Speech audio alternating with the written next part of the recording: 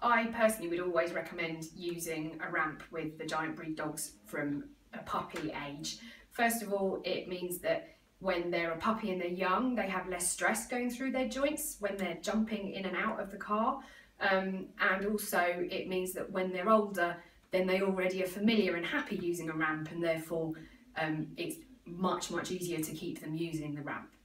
Um, as far as tips for training them to use it, really treats or a favourite toy are the best way um, to use it. Usually starting maybe in the house with the ramp on, a, on the first step of the stairs so it's a lot shallower and getting them going up and down a shallow incline and then gradually increasing it until it's the right height for your boot might also be helpful if you find that your dog is a little bit concerned or worried about using the ramp.